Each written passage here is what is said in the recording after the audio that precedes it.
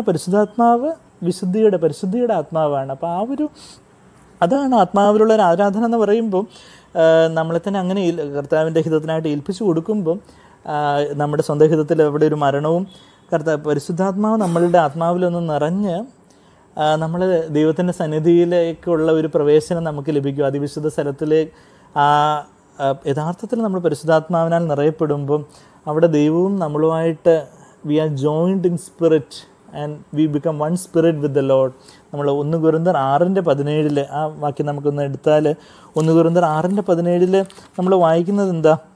But the one who joins himself to the Lord is one spirit with him കർത്താവിനോട് പറ്റിച്ചേരുന്നവന് അവനുമായി ഏക ആത്മാവാകുന്നു. ആ ഏക ഏകാത്മാവാകുന്ന ആ spiritual union with the Lord ആ പരിശുദ്ധാത്മാവിന്റെ നിറവിലാണ് നമ്മളുടെ ആത്മാവും കർത്താവിന്റെ ആത്മാവുമായിട്ട് ഏക ആത്മാവാകുന്നത് കർത്താവ് ആത്മാവാകുന്നു. ആ കർത്താവിനെ ആരാധിക്കുന്നവർ ആത്മാവ് ആത്മാവിലും സത്യത്തിലും ആരാധിക്കണമെന്ന് പറയുമ്പം അതാണ് നമ്മളിപ്പം യോഹന നാലിന്റെ ഇരുപത്തി മൂന്നാമത്തെ വാക്യത്തിൽ ഇരുപത്തി നാലാമത്തെ വാക്യത്തിൽ കർത്താ ദൈവം ആത്മാവാകുന്നു അവനെ നമസ്കരിക്കുന്നു ആത്മാവിലും സത്യത്തിൽ നമസ്കരിക്കണം എന്ന് പറഞ്ഞാൽ ഇപ്പം വെള്ളവും ഓയിലും കൂടെ മിക്സ് ചെയ്യാൻ നോക്കിയാൽ പറ്റുമോ ഇല്ല. എന്ന് പറഞ്ഞതുപോലെ ദൈവം ആത്മാവാണ് അപ്പം നമ്മളുടെ ആത്മാവേ ദൈവത്തിന് ആത്മാവുമായിട്ട് യുണൈറ്റഡ് ആവാനൊക്കെ ഉള്ളൂ നമ്മൾ ദേഹത്തിലും ദേഹിയിലും എന്തെല്ലാം കിടന്ന് കസർത്ത് കാണിച്ചാലും ദൈവമായിട്ടുള്ളൊരു യൂണിയനിലേക്ക് നമ്മൾ വരുന്നില്ല. ഓയിലും വാട്ടറും കൂടെ മിക്സ് ചെയ്യത്തില്ലെന്ന് പറയുന്നത് പോലെ. എന്നാൽ വെള്ളവും വെള്ളവും കൂടെ മിക്സ് ആവുമെന്ന് പറഞ്ഞാൽ നമുക്ക് ദൈവം ഒരു ആത്മാവ് തന്നിട്ടുണ്ട്. നമ്മളെ ദൈവം ദൈവത്തിന്റെ സ്വരൂപത്തിലാണ് സൃഷ്ടിച്ചത്. നമുക്ക് മാത്രമേ ആത്മാവുള്ളൂ. മനുഷ്യന് മാത്രമേ ആത്മാവുള്ളൂ. മൃഗങ്ങൾക്കോ പക്ഷി മൃഗാദികൾക്കോ ഒന്നും ആത്മാ ആത്മാവില്ല. അവർക്ക് ദേഹവും ദേഹിയും മാത്രമേ ഉള്ളൂ. അവർക്ക് സോളും ബോഡിയേ ഉള്ളൂ. അതായത് അവർക്ക് വികാരങ്ങളും തീരുമാനങ്ങൾ എടുക്കാനുള്ള കഴിവും അവർക്ക് ചിന്തിക്കാനുള്ള കഴിവും എല്ലാം മൃഗങ്ങൾക്കുണ്ട്. ദേഹിയുണ്ട് സോളുണ്ട് ബോഡിയുണ്ട് അവരുടെ ബോഡിയുണ്ട് മൃഗങ്ങൾക്ക്. പക്ഷേ അവർക്കില്ലാത്ത ഒന്ന് നമുക്ക് ദൈവം തന്നത് എന്താ തന്റെ സ്വരൂപത്തിൽ ഒരു ആത്മാവിനെയും കൂടി തന്നു. ആ ആത്മാവ് മരിച്ച അവസ്ഥയിലായിരുന്നു ആദാമിന്റെ പാപത്തോടുകൂടി ഓരോ ജനിക്കുന്ന കുഞ്ഞും ആത്മീയമായിട്ട് മരിച്ച അവസ്ഥയിലായിരുന്നു. എഫ് എസ് രണ്ടിന്റെ ഒന്നിലെ പാപത്തിൽ അക്രമ അതിക്രമത്തിലെ പാപത്തിൽ നമ്മൾ മരിച്ചവരായിരുന്നു നമ്മളെ ആത്മാവിൽ മരിച്ചവരായിരുന്നു നമ്മളെ. കർത്താവ് നമ്മൾ മനസാന്തരപ്പെട്ടപ്പോൾ എന്താ പരിശുദ്ധാത്മ നമ്മളുടെ ഈ മരിച്ച ആത്മാവിലേക്ക് വന്ന് നമുക്കൊരു ജീവൻ തന്നു. അപ്പോൾ ഈ ജീവൻ തന്ന ആത്മാവ് ദൈവത്തിന്റെ ആത്മാവുമായിട്ട് ഒന്നായി ചേരണമെങ്കിൽ അവിടെ തടസ്സമായിട്ട് നിൽക്കുന്നത് എന്താണ്? നമ്മുടെ ഈ തിരശ്ശീല ഈ ജഡം ഈ ഔട്ടർ കോട്ടിന് ആ തിരശ്ശീലയാണ് യേശുവിന്റെ മരണത്തോടുകൂടി യേശു ക്രൂശ് മരിച്ചപ്പോൾ ആ തിരശ്ശീല ചിന്തപ്പെട്ടു. മുകളിൽ നിന്ന് താഴേക്ക് എന്ന് പറഞ്ഞാൽ ദൈവം പിതാവ് അവിടെ മുകളിൽ നിന്ന് സ്വർഗത്തിൽ നിന്ന് ആ തിരശ്ശീല മുകളിൽ നിന്ന് താഴോട്ട് ഇങ്ങനെ കീറി എന്നുള്ളൊരു കാര്യമാണ് നമ്മളിവിടെ കാണുന്നത്. അപ്പോൾ ആ പ്രവേശനം നമുക്കിന്ന് ആക്സസ് ഉണ്ട്. എന്നാൽ നമ്മളുടെ ജീവിതത്തിൽ അത് എപ്പോഴാണ് പ്രാക്ടിക്കലായിട്ട് ആ ഒരു ആക്സസ് വരുന്നതെന്ന് ചോദിച്ചാൽ എപ്പോഴാണ്? യേശു തന്റെ ഹിതം ചെയ്യാതെ പിതാവിന്റെ ഹിതം ചെയ്തപ്പോഴാണ് യേശു പിതാവുമായിട്ട് ഒന്നായിട്ട് ഈ ഭൂമിയിൽ അങ്ങനെ ഞാനും പിതാവ് ഒന്നാകുന്നു എന്ന് യോഹനം പത്തിന്റെ ഇതേ യോഹനൻ സുവിശേഷം പത്താം അധ്യായത്തിന്റെ മുപ്പതാമത്തെ വാക്യത്തിൽ ഐ ദ ഫാദർ ആ വണ്ണെന്ന് കർത്താവ് പറയുന്നുണ്ട്. അപ്പം നമ്മളും ആ ഒരു വണ്ണസിലേക്ക് വരുവാൻ നമ്മളും ആ വണ്ണസിലേക്ക് ഞ- ഞാനും പിതാവ് ഒന്നായിരിക്കുന്ന പോലെ എന്നെ വിശ്വസിക്കുന്നു ഇവർ ഒന്നാകണമെന്ന് എന്റെ ആഗ്രഹം എന്നും പറഞ്ഞ കർത്താവ് യോഹനാൻ പതിനേഴാം അധ്യായത്തിൽ മഹാപുരോഹിത പ്രാർത്ഥന ഹൈപ്രീസ്ലി പ്രേയറിൽ കർത്താവ് പ്രാർത്ഥിക്കുന്നത് അപ്പം ആ പ്രാർത്ഥന പ്രകാരം നമ്മളും ദൈവമായിട്ട് ഒന്നാകണമെന്ന് പറയുന്ന ആ സ്പിരിച്വൽ യൂണിയനാണ് യഥാർത്ഥത്തിലുള്ള വേർഷിപ്പ് എന്ന് പറയുന്നത്. അത് ആ വേർഷിപ്പ് ഇൻ ദ സ്പിരിറ്റ് അതാണ് നമ്മൾ ഈ റോമർ പന്ത്രണ്ടാം അധ്യായത്തിന്റെ ഒന്നാമത്തെ വാക്യത്തിൽ എങ്ങനെ ആ ജീവനുള്ള നമ്മൾ എന്താ this is your reasonable service of worship എന്നാണ് അവിടെ പറഞ്ഞിരിക്കുന്നത്. ഈ സ്പിരിച്വൽ വേർഷിപ്പ് അല്ലെങ്കിൽ വേർഷിപ്പ് ഇൻ ദ സ്പിരിറ്റ് എന്താണെന്ന് ഇതേ നമ്മൾ ആ നമ്മളിപ്പം പറഞ്ഞ കാര്യം തന്നെ അതേ കാര്യം തന്നെ വേറെ വാക്കുകളിൽ എന്താ പൗലോസ് പറയുന്നത് എന്താ പൗലോസ് അപ്പോസിലും പറയുന്നത് therefore I urge you my brethren സഹോദരന്മാരെ റോമർ പന്ത്രണ്ടിന്റെ ഒന്നാമത്തെ വാക്യത്തിൽ നിങ്ങൾ എങ്ങനെ ആരാധിക്കേണ്ടേ? നമ്മളെന്തോ ബഹളം വെച്ച് തുള്ളിച്ചാടി. ബഹളം വെച്ച് തുള്ളി കർത്താവ് തുള്ളിച്ചാടാൻ പറയുന്ന ഒരു അവസരം എന്ന് പറഞ്ഞാൽ നമ്മളെല്ലാവരും പ്രോസിക്യൂട്ട് ചെയ്യുമ്പോൾ യു ലിപ് ഫോർ ജോയ് എന്ന് കർത്താവ് ലൂക്കോസ് ആറാം അധ്യായത്തിൽ തുള്ളിച്ചാടാൻ പറയുന്നുണ്ട്. അത് വെച്ച് കർത്താവ് തുള്ളിച്ചാടാൻ ഒന്നും പറയുന്നുണ്ട് നമുക്ക് തുള്ളിച്ചാടണമെന്നുണ്ടെങ്കിൽ ചാടാം. എക്സസൈസിനായിട്ട് തുള്ളിച്ചാടുന്നതൊക്കെ നമുക്ക് വെയിറ്റ് കുറയ്ക്കാൻ നല്ലതാണ് പക്ഷേ അത് ആരാധനയായി മാറുന്നില്ല എന്നുള്ളത് മാത്രമേ നമ്മൾ മനസ്സിലാക്കേണ്ടതുള്ളൂ. നമ്മളവിടെ ലീഫോ ജോയ് എന്ന് ലൂക്കോസ് ആറ് സന്തോഷിച്ച് തുള്ളുവിൻ. ഏത് നാടുകളിലാണ് ഇരുപത്തിരണ്ടാമത്തെ വാക്യം? മനുഷ്യപുത്ര നിമിത്തം മനുഷ്യർ നിങ്ങളെ ദ്വേഷിച്ച് ഭ്രഷ്ടരാക്കി നിന്ദിച്ച് നിങ്ങളുടെ പേര് വിലക്ക് എന്ന് തള്ളുമ്പോൾ നിങ്ങൾ ഭാഗ്യവാന്മാർ. ആ നാളിൽ ആ നാളുകളിൽ. ബാക്കി എല്ലാവരും നമ്മളെ അതുപോലെ വിടക്കം തണ്ടി വിലക്കം തണ്ടി അതുപോലെ നമ്മളെ ഇങ്ങനെ ഓസ്ട്രസൈസ് ചെയ്ത് നമ്മളെ യുനോ നിന്നാപാത്രമാക്കി അവ അവഹേളിക്കും. ആ നാളുകളിലാണ് നമുക്ക് തുള്ളാൻ പറഞ്ഞേക്കുന്നത് ലീപ് ഫോർ ജോയ് കർത്താവിന്റെ മഹാപീഡനത്തിന്റെ അല്ല സോറി എതിർ ക്രിസ്തുവിന്റെ മഹാപീഡനത്തിന്റെ സമയത്തിലേക്കൊക്കെ സഭ കടന്നു പോകുമ്പം അങ്ങനെ തുള്ളാനുള്ള സമയമൊക്കെ നമുക്ക് ഉണ്ടാവും. ദൈവം തരും. ഇപ്പോഴും നമുക്ക് ചില പ്രോസിക്യൂഷനൊക്കെ കടന്നു പോകുമ്പോൾ നമുക്ക് ആത്മാവിൽ നമുക്ക് തുള്ളാം. നമുക്ക് ഇങ്ങനെ തുള്ളുന്നതിനൊന്നും കുഴപ്പമില്ല. പക്ഷേ നമ്മൾ ഈ വെറുതെ വൈബ്രേഷൻ പോലെ സ്പ്രിങ് പോലെ തുള്ളിയത് കൊണ്ട് ആരാധനയാവുന്നില്ല. പക്ഷേ യഥാർത്ഥത്തിൽ ആരാധിക്കുന്നത് എങ്ങനെയാണെന്ന് പൗലോസ് അപ്പോസിലും പറഞ്ഞു കൊടുക്കുന്നത്. നമ്മൾ തിരിച്ച് റോമർ പന്ത്രണ്ടിന്റെ ഒന്നിലേക്ക് വരുമ്പോൾ സഹോദരന്മാർ ഞാൻ ദൈവത്തിന്റെ മനസ്സലിവ് ഓർപ്പിച്ച് നിങ്ങളെ പ്രബോധിപ്പിക്കുന്നു. ദൈവത്തിന്റെ മനസ്സലിവ്. ആ ഒമ്പത് പത്ത് പതിനൊന്ന് അധ്യായങ്ങളിൽ റോമർ ഒമ്പത് പത്ത് പതിനൊന്ന് അധ്യായങ്ങളിൽ ഇസ്രായേലിനോടുള്ള ദൈവത്തിന്റെ മനസ്സലിവെല്ലാം പറഞ്ഞ് ഇത്രയെല്ലാം ആയിട്ടും ഇസ്രായേലിലെ ഒരു ശേഷിപ്പുണ്ടെന്നുള്ള കാര്യമൊക്കെ പറഞ്ഞ് ദൈവം എത്ര മനസ്സിലുള്ളവനാണ് കർത്താവ് യുനോ എത്രമാത്രം നമ്മുടെ ജീവിതത്തിലേക്ക് നമ്മൾ നോക്കുമ്പം കർത്താവിന്റെ മനസ്സിൽ നമ്മൾ എന്തെല്ലാം കർത്താവിനെ ദുഃഖിപ്പിച്ച് വേദനിപ്പിച്ച് നമ്മൾ റിബല്യസ് ആയിട്ട് മത്സര ബുദ്ധിയോടെ നിഗടികളായിട്ട് നമ്മൾ പോയപ്പോഴും നമ്മുടെ പിന്നാലെ വീണ്ടും വീണ്ടും തേടി വന്ന കർത്താവിന്റെ സ്നേഹം. ആ പത്രോസിനെയും ശിഷ്യന്മാരെയും യോഹനൻ ഇരുപത്തൊന്നാം അധ്യായത്തിൽ ആ കടൽക്കരയിൽ പിന്നെയും പോയി പ്രത്യക്ഷപ്പെടുന്ന കർത്താവിന് മൂന്നാം തവണയും പ്രത്യക്ഷപ്പെടുന്ന കർത്താവിന്റെ സ്നേഹം.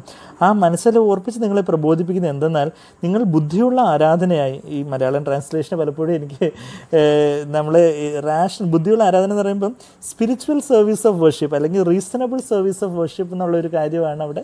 ലോജിക്കോസ് എന്ന് പറഞ്ഞൊരു ഗ്രീക്ക് പദമാണ് അവിടെ ബുദ്ധിയുള്ള എന്നുള്ളൊരു കാര്യം. എന്ന് വെച്ചാൽ നമ്മുടെ ബുദ്ധിയിലൊന്നും ആരാധിക്കുക എന്നുള്ളതല്ല.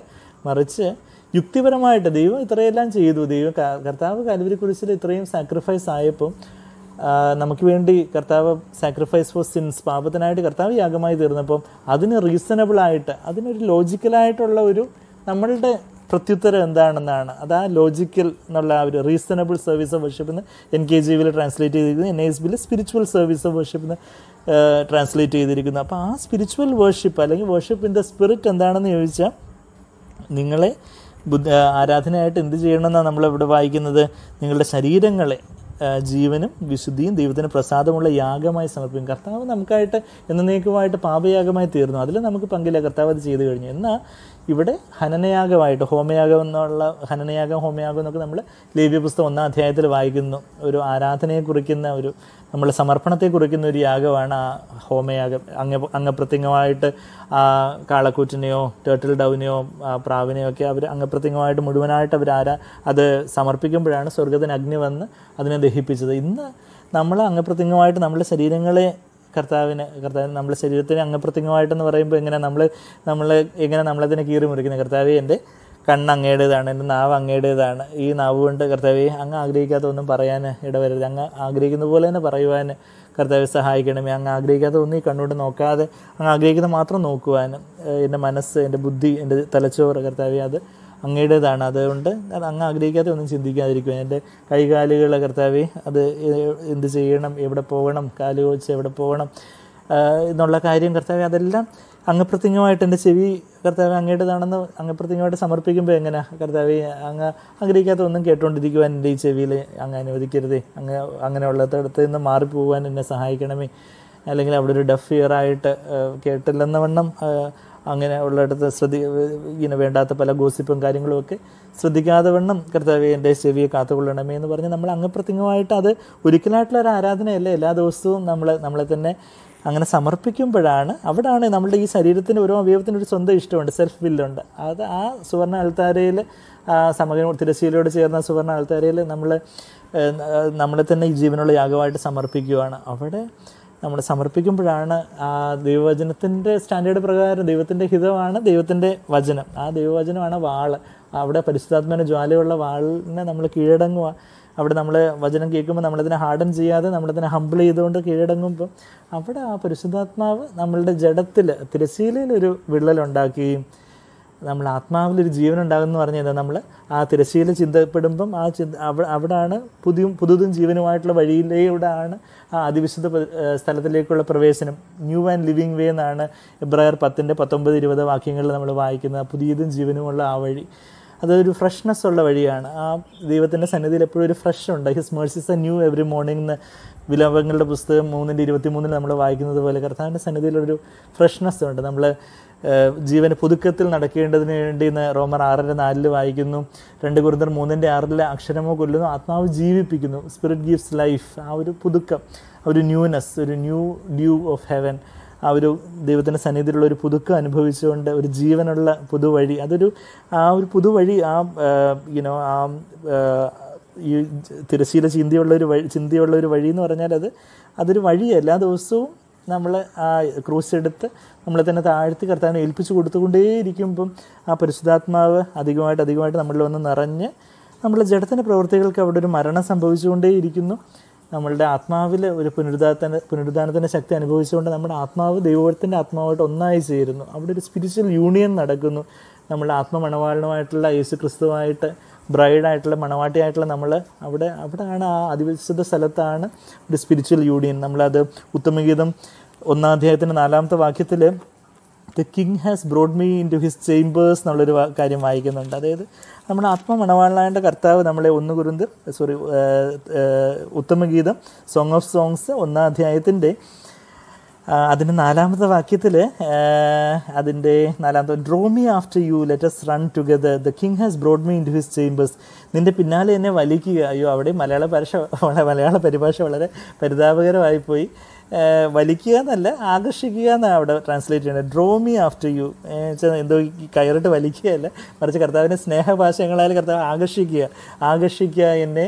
നീ മരിച്ച ക്രൂസിംഗിൽ നമ്മൾ ആ പാട്ടിൽ ഫനജി ക്രോസ്മിയുടെ ട്രാൻസ്ലേഷനിൽ ആ പാട്ടിൽ പാടുന്നത് പോലെ. ഓഫ്കോഴ്സ് മലയാള പരിഭാഷയിൽ പരിമിതികളുണ്ട് എന്ന് വെച്ചാൽ അന്നത്തെ കാലത്ത് അവർ അത്രയെങ്കിലുമൊക്കെ ചെയ്തല്ലോ നമ്മൾ അവരെ ആരെയും കുറ്റം പറയുകയല്ല. പക്ഷേ എങ്കിലും നമ്മൾക്ക് കൂടുതൽ ഈ കാര്യങ്ങളിലൊരു വെളിച്ചം വരുമ്പോൾ നമ്മൾ ആ പരിഭാഷയെ കൊണ്ട് നമ്മൾ ഇരിക്കാതെ ആ പരിഭാഷയ്ക്ക് അതീതമായിട്ട് ആ വചനത്തെ നമ്മൾ സ്നേഹിച്ച് അതിന്റെ അർത്ഥതലങ്ങൾ നമ്മൾ മനസ്സിലാക്കണം.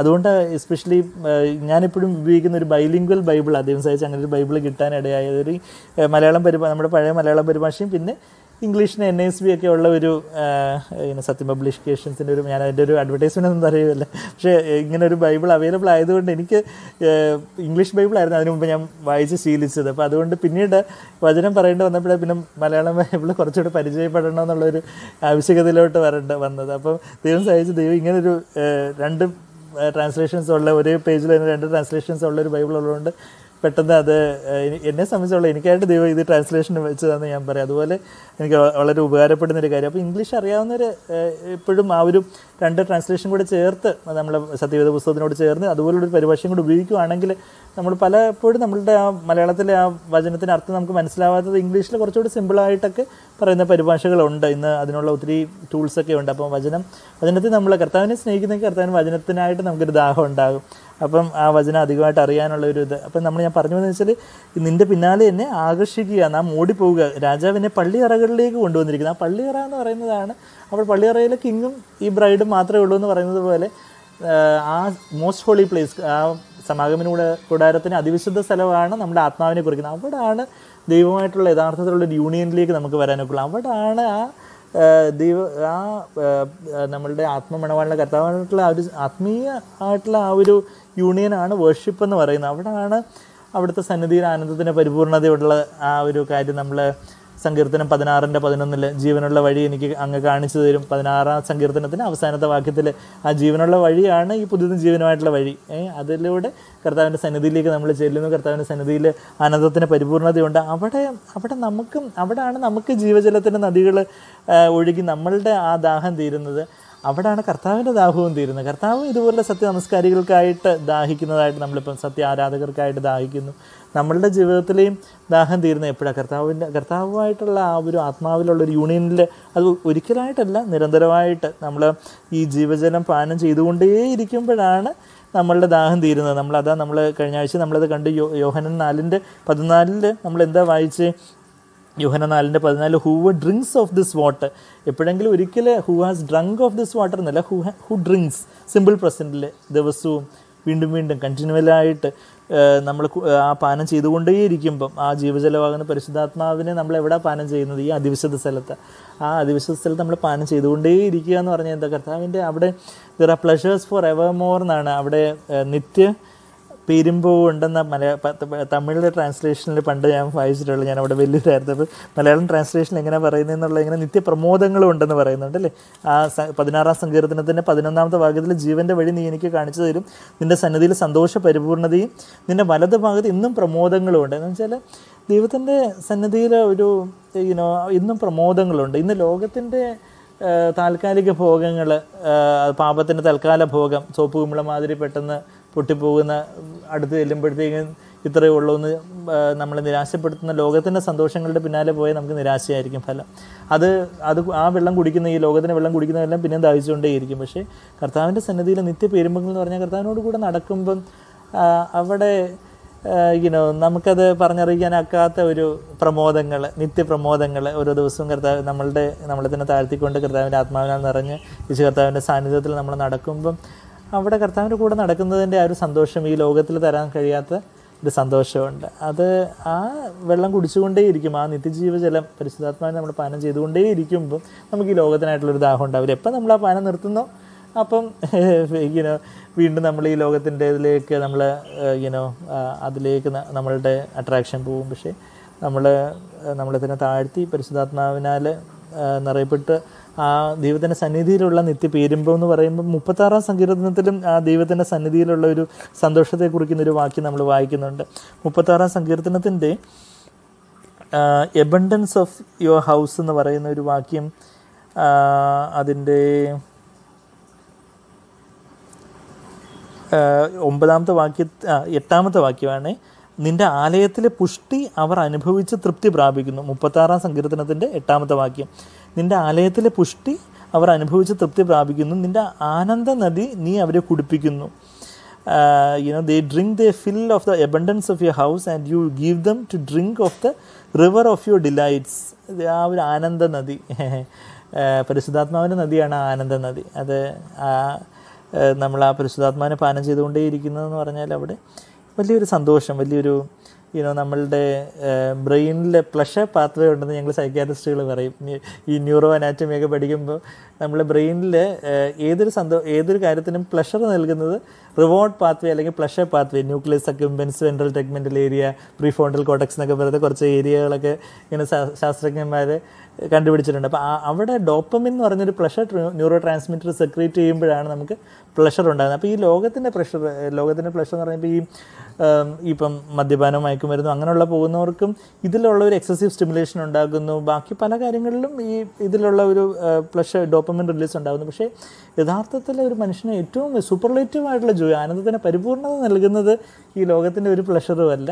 മറിച്ച് ഏറ്റവും അധികം നമ്മളിൽ ഈ ഡോപ്പമിൻ സെക്രീഷൻ ഉണ്ടാകുന്നത് കർത്താവിന്റെ സന്നിധിയിലാണെന്ന് പറയണം. എന്ന് വെച്ചാൽ അവ അതാണ് യഥാർത്ഥത്തിൽ നമുക്ക് ഒരു ഫുൾഫില്ലിംഗ് ആയിട്ടുള്ള നമ്മളുടെ ആ മനുഷ്യന്റെ ആ ശൂന്യത. നിത്യത അവന്റെ ഹൃദയത്തിൽ വെച്ചിരിക്കുന്നു എന്ന് നമ്മൾ സഭാപ്രസംഗി മൂന്നിന്റെ പതിനൊന്നിൽ വായിക്കുന്നുണ്ടല്ലോ. Eternity in in in the hearts എന്ന് വായിക്കുന്നുണ്ട്. അപ്പോൾ അവിടെ ഒരു ഒരു ശൂന്യതയുണ്ട്. നിത്യത ഈനോ നിത്യമായിട്ടുള്ള ഒന്ന് വന്ന് നിറഞ്ഞാലേ ഈ ശൂന്യത മാറത്തുള്ളൂ. ആ ഹൃദയത്തിലൊരു നിത്യതയ്ക്കായിട്ട് ഒരുക്കിയിട്ടുള്ള ഒരു കാര്യമാണ് ദൈവം വെച്ചിട്ടുള്ളത്. എന്ന് പറഞ്ഞാൽ ബ്ലേസ് പാസ്കൽ എന്ന് പറയുന്ന ഒരു ശാസ്ത്രജ്ഞൻ ഒരു ഫിസിസിസ്റ്റ് ആൻഡ് മാത്തമെറ്റീഷ്യൻ പറഞ്ഞൊരു വാക്യം പലപ്പോഴും പലരും കേട്ടിട്ടുണ്ടായിരിക്കും. പാസ്കൽ എന്ന് പറഞ്ഞാൽ അത് പ്രഷറിന്റെ യൂണിറ്റാണ് നമ്മൾ ഹൈസ്കൂൾ ഫിസിക്സിലൊക്കെ പിന്നെ ഫോഴ്സ് ബൈ ഏരിയ പ്രഷറിന്റെ യൂണിറ്റ് ആയിട്ട് പാസ്കൽ എന്ന് പറയും. ബ്ലേസ് അത് ആ പാസ്കൽ എന്നുള്ള ആ unit is after Blaise Pascal അപ്പോൾ ഈ ബ്ലേസ് പാസ്കൽ അദ്ദേഹം വലിയൊരു ക്രിസ്തുഭക്തനായിരുന്നു. അദ്ദേഹം പറഞ്ഞൊരു വാക്യം ഇങ്ങനെ പാരഫ്രൈസ് ചെയ്ത് പറയാറുണ്ട്. ഓരോ മനുഷ്യന്റെ ഉള്ളിൽ ഒരു ഗോഡ് ഷേപ്ഡ് ദൈവത്തിന്റെ ആകൃതിയിലുള്ളൊരു വാക്വം ഉണ്ട്. ആ വാക്കും ബാക്കി എന്തെല്ലാം ഈ ലോകത്തിന്റെ money or pleasure or self you know money honour pleasures ഇത് മൂന്നുമാണ് ഈ ലോകത്തിന്റെ പ്ലഷേഴ്സിന്റെ ഒരു മൂന്ന് വലിയ കാറ്റഗറി ബ്രോഡ് ട്രയാഡ് എന്ന് പറയാം. മണി പ്ലഷേഴ്സ് ഇങ്ങനെ അവിടെ സെക്ഷുവൽ സെൻസുവൽ പ്ലഷേഴ്സ് എല്ലാം വരും. മണി എല്ലാം വരും. പിന്നെ honour of this world pride of life lust of the eyes lust of the flesh pride of life എന്ന് കർത്താവ് യോഹനാൻ രണ്ടിന്റെ യോഹന അപ്പോസിലിന് അവിടെ ഒന്ന് യോഹനാൻ രണ്ടിന്റെ പതിനഞ്ച് പതിനാറ് വാക്യങ്ങളിൽ പറയുന്ന കാര്യങ്ങൾ തന്നെ അതും. അപ്പം ഈ ഇതെല്ലാം നമ്മളുടെ ഈ ഈനോ നമ്മളുടെ ഹൃദയശൂന്യത നിറയ്ക്കാൻ അതുകൊണ്ടൊന്നും പറ്റില്ല. മറിച്ച് പരിശുദ്ധാത്മാവിന്റെ നിറവ് മാത്രമേ രക്ഷിക്കപ്പെട്ടതുകൊണ്ടും നമ്മളുടെ ഹൃദയം നിറയപ്പെടണമെന്നില്ല. പക്ഷെ രക്ഷിക്കപ്പെട്ട് നമ്മൾ പൂർണമായിട്ട് കർത്താവിനെ ഏൽപ്പിച്ചു കൊടുത്ത് പരിശുദ്ധാത്മാവ് നിറയപ്പെടുമ്പോഴാണ് അവിടെയാണ് ഒരു ഫുൾഫിൽമെന്റ് ഉണ്ടാകുന്നത് അത് പരിശുദ്ധാത്മാവിന്റെ ആ നിറവിന്റെ അളവ് നമ്മൾ ഓരോ ദിവസവും നമ്മളതിനെ താഴ്ത്തി ഏൽപ്പിച്ചുകൊണ്ടേയിരുന്ന അധികമായിട്ട് അധികമായിട്ട് ആ പരിശുദ്ധാത്മാവിനാൽ നിറയപ്പെടുവാനായിട്ട് നമുക്ക് ആ ഒരു അനുഭവം ആ ഒരു ആനന്ദ നദിയെക്കുറിച്ച് നമ്മൾ നാൽപ്പത്താറാം സങ്കീർത്തനത്തിലും വായിക്കുന്നുണ്ട്. There is a river that makes the city of God glad ആ ഒരു വാക്യം കൂടെ പറഞ്ഞ് നമുക്കങ്ങ് ബാക്കിയുള്ള സൗകര്യങ്ങളിൽ നിന്നും കേൾക്കാം. നാൽപ്പത്താറാം സങ്കീർത്തനത്തിന്റെ നാലാമത്തെ നാലാമത്തെ വാക്യത്തിൽ ദീർഘസിറവ് ഒരു നദിയുണ്ട്.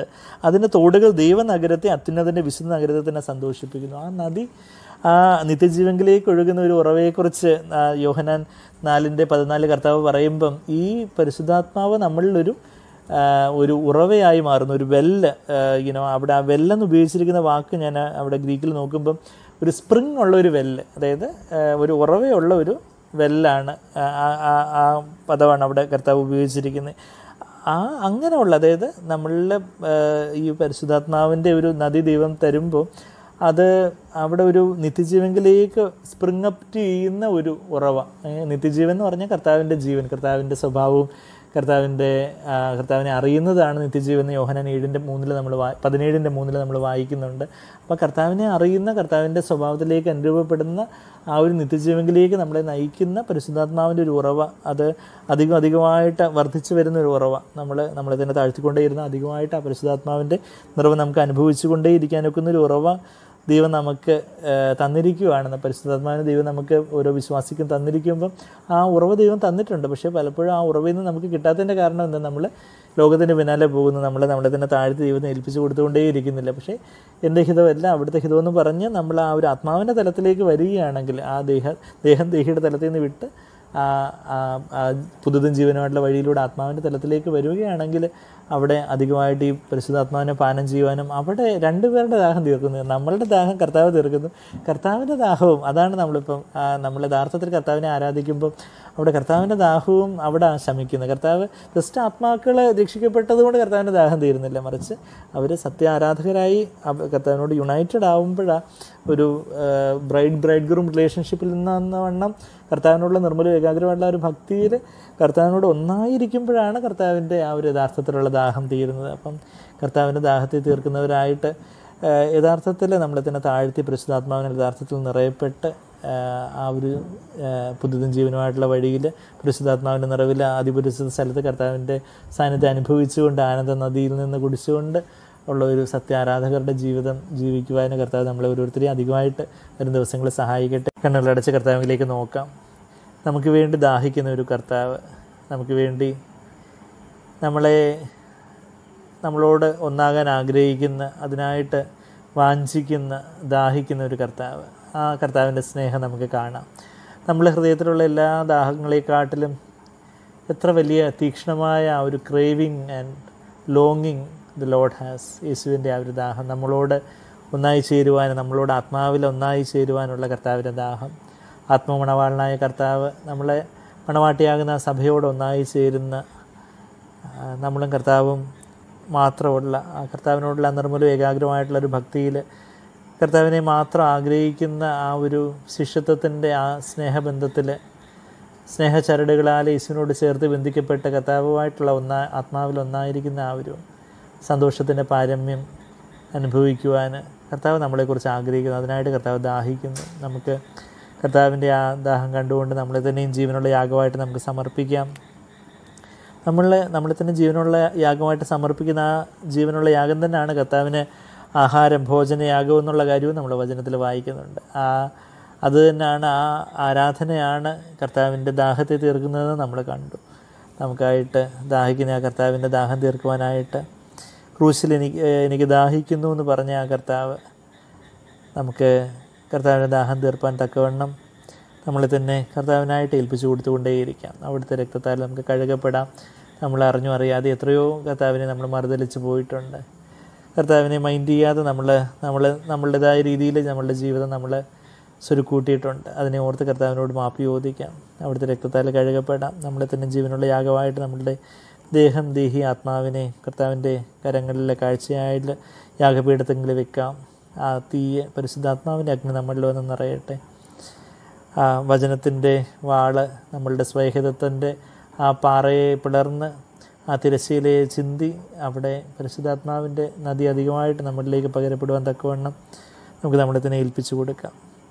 നമ്മളെ തന്നെ താഴ്ത്തി ഏൽപ്പിക്കുമ്പോൾ ദൈവം നമ്മളെ നിറയ്ക്കും. നമ്മളുടെ ദാഹവും നമ്മളുടെ ആത്മാവിന്റെ യഥാർത്ഥത്തിലുള്ള ദാഹം ഈ ലോകത്തോടെ ദാഹവും എല്ലാം തീർന്ന് കർത്താവിൽ ഉള്ള ഒരു വലിയ ഫുൾഫിൽമെന്റ് അനുഭവിക്കുവാൻ നമുക്കിടയാവും. നമുക്ക് പ്രാർത്ഥിക്കാം. സ്നേഹം നിറഞ്ഞ പിതാവി നന്ദി കർത്താവി. അവിടുത്തെ വചനത്തിന്റെ വലിയ ആഴങ്ങൾക്കായിട്ട് സ്തോത്രം ചെയ്യുന്നു. അവിടുത്തെ ദാഹത്തെ ഞങ്ങൾ കാണുന്നു. ഞങ്ങളുടെ ദാഹം തീർക്കുവാനുള്ള അവിടുത്തെ പരിശുദ്ധാത്മാവിനായിട്ട് നന്ദി പറയുന്നു. ഞങ്ങളെ തന്നെയും ജീവനുള്ള യാഗമായിട്ട് സമർപ്പിക്കുന്നു. അങ്ങയോട് ഒന്നായി ചേരുവാൻ അങ്ങ് യഥാർത്ഥത്തിൽ സത്യത്തിൽ യാഥാർത്ഥത്തിൽ കർത്താവെ കാപട്യത്തിലല്ല യാഥാർത്ഥ്യത്തിലും സത്യത്തിലും ആരാധിക്കുവാൻ വചനപ്രകാരം പരിശുദ്ധാത്മാവിനും നിറവിലും ആരാധിക്കുവാൻ ഞങ്ങളുടെ ദേഹത്തിലും ദേഹിയിലുമല്ല ഞങ്ങളുടെ ആത്മാവിൽ തന്നെ ആരാധിക്കുവാൻ ഞങ്ങളെ അങ്ങ് സഹായിക്കണം. അങ്ങേ മാത്രം ആഗ്രഹിക്കുവാൻ അങ്ങേക്കായിട്ട് പൂർണമായിട്ടും ജീവിക്കാൻ ഞങ്ങളെ സഹായിക്കണമേ കർത്താവ്. ഞങ്ങളുടെ ജീവിതത്തിൽ കർത്താവെ കുറവുകൾ വന്നു പോയിട്ടുണ്ടെങ്കിൽ ക്ഷമിക്കണമേ കർത്താവേ. ഞങ്ങളുടെ ജീവിതത്തിൽ എന്തെങ്കിലും സ്ലിപ്പ് അപ്സ് വരുമ്പോഴും കർത്താവ് ഉടനെ തന്നെ മനസ്സാന്തരപ്പെട്ട കർത്താവ് അങ്ങിലേക്ക് കൂടി അണയുവാൻ ഞങ്ങളെ ഓരോരുത്തരെയും സഹായിക്കണം. ഒരിക്കലും ഡിസ്കറേജ്ഡ് ആകാതെ കർത്താവ് ഞങ്ങൾക്ക് എപ്പോഴും ആ അതിപുരുഷിത സ്ഥലത്ത് ഞങ്ങൾക്കായി കാത്തിരിക്കുന്ന ആ ദൈവം ഉണ്ടല്ലോ. കർത്താവ് ഞങ്ങൾക്ക് ആ ആക്സസിനായിട്ട് കർത്താവെ ഞങ്ങളങ്ങ് സ്തുതിക്കുന്നു. ഞങ്ങൾ അങ്ങിലേക്ക് അടുത്ത് വരുന്നു. കർത്താവെ എപ്പോഴും ആ അതിപരിശുദ്ധ പരിശുദ്ധ സ്ഥലത്ത് തന്നെ മോസ്റ്റ് ഹോളി പ്ലേസിൽ തന്നെ അങ്ങയോടൊപ്പം വസിക്കുവാൻ കർത്താവെ ആ സ്വസ്ഥതയിലായിരിക്കുവാൻ കർത്താവെ ഞങ്ങളെ അങ്ങ് സഹായിക്കണമെന്ന് പ്രാർത്ഥിക്കുന്നു. യഥാർത്ഥത്തിലുള്ള സത്യത്തിലുള്ള ആത്മാവിലുള്ള ആത്മീയമായ യഥാർത്ഥ ആരാധകരായിട്ട് മാറുവാൻ അങ്ങനെ ജീവിക്കുവാൻ അത് ഞങ്ങളുടെ ജീവിതത്തിന്റെ പാട്ടായിട്ട് മാറുവാൻ ഞങ്ങളെ സഹായിക്കണം. നന്ദി കർത്താവി നന്ദി. പ്രാർത്ഥന കേട്ടതിനെ ഓർത്ത് സ്തുതിക്കുന്നു. എല്ലാം യേശു കർത്താവിന്റെ വിലയേറിയ മധുരമുള്ള നാമത്തിൽ തന്നെ. ആമേ